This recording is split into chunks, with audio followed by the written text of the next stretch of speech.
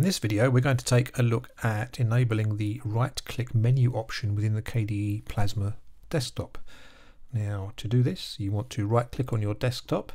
That will bring up the standard right click menu. So click configure desktop go to mouse actions. You want the right button section and by default it's set to the standard menu. The standard menu is this standard right click menu. We want to change that to application launcher.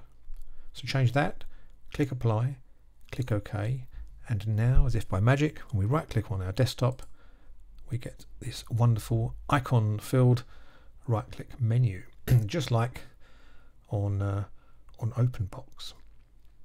Now some people do prefer this, I prefer it to the quite large and unwieldy standard KDE menus, um, but it's hidden away in the settings there and um, many people don't seem to realize that that's where it lurks. So if you prefer this, then please do switch and use it. Now, if you want your standard right click menu back, then if you come up here to the top right hand corner, then that option is still available. Because if you there configure desktop, you can get back in and configure your desktop as you would normally.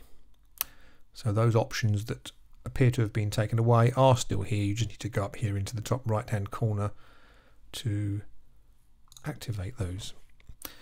Now, one other thing, when you open your right click menu, you may find that um, some of the categories are slightly messed up. So some of the applications may well appear in categories where you aren't expecting them.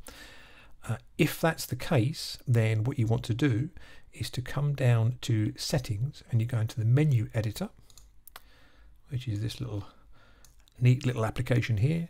And you can go in and you can look at your individual applications and you can move them to a different category if you wish. You can rename them.